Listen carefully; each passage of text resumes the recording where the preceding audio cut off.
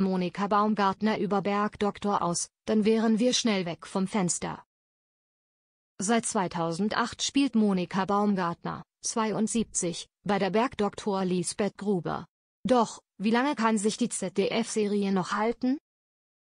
Ich denke, es steht und fällt mit den Einschaltquoten. Wenn die nicht mehr stimmen, wären wir schnell weg vom Fenster, sagte die Schauspielerin im Interview mit Hallo München. Alles, was nicht funktioniert, wird aus dem Programm genommen, egal wie lange es schon im TV gelaufen ist. Punkt Die Quoten bei der Bergdoktor stimmen nach wie vor. Die Folgen der 16. Staffel sahen durchschnittlich 6,3 Millionen Zuschauer. Der Marktanteil bei den 14- bis 49-Jährigen lag bei knapp 22 Prozent. Baumgartner ist jedenfalls froh und dankbar bei der ZDF-Serie dabei zu sein. Die anderen Bergdoktor-Darsteller seien mittlerweile wie eine zweite Familie für die 72-Jährige. Dadurch, dass wir ja doch einige Monate im Jahr zusammen sind und uns immer noch gut verstehen, ist klar, dass das wie eine zweite Familie geworden ist, so Baumgartner. Am 4. Januar 2024 wird die erste Folge der 17. Staffel der Bergdoktor mit dem Titel Der Blick nach vorn im ZDF ausgestrahlt.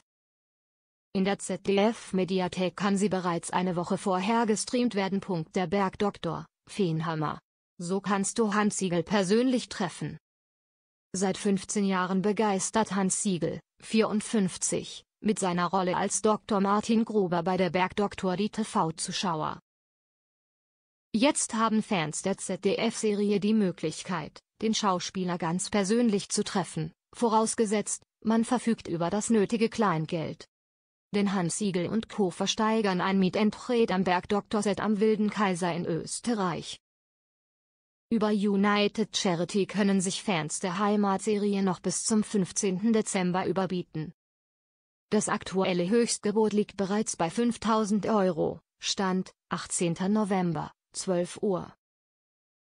Sie können Hans Siegel und seine Kollegen persönlich bei den Dreharbeiten zur 18. Staffel der Serie besuchen und einen Blick hinter die Kulissen werfen, heißt es auf der Webseite.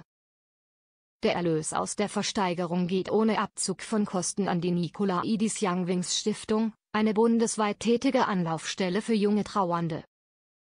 Deren Hilfsangebote richten sich neben Erwachsenen bis zum Alter von 49 Jahren, deren Lebenspartner verstorben ist, auch an Kinder, Jugendliche und junge Erwachsene bis zum Alter von 27 Jahren, die einen Elternteil oder beide Eltern verloren haben.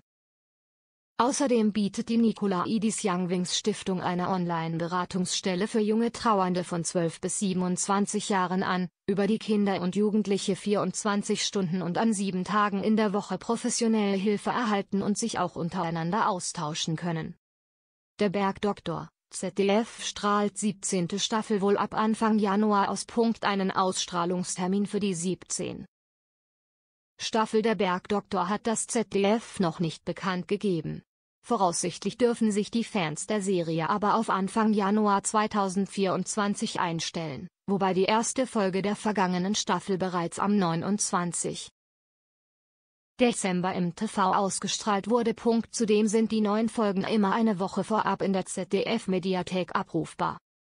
Hans Siegel hat bereits eine geheimnisvolle Andeutung für die 17. Staffel der Bergdoktor gemacht.